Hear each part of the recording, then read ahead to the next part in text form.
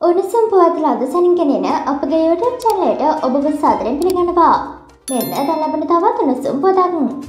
අමාත්‍ය ධූර බලාපොරොත්තුවෙන් සිටියත් මෙතෙක් අමාත්‍ය ධූර නොලැබුණු ශ්‍රී ලංකා පොදු ජන පෙරමුණේ ජ්‍යෙෂ්ඨයන් සඳහා ශ්‍රී ලංකා පොදු ජන පෙරමුණේ විසින් වගකීම් පැවරීමට තීරණය කර තිබෙනවා. ඒ පොදු ජන පෙරමුණ පක්ෂය නැවත නගා සිටුවීමේ වැඩපිළිවෙලේ වගකීම්ය. එය අනුව දිස්ත්‍රික් හා පළාත් මට්ටමින් සංවිධාන මෙහෙයුම් සිදු කිරීමට මෙම වගකීම ඔවුන්ට පැවරීමට තීරණය කර ඇත.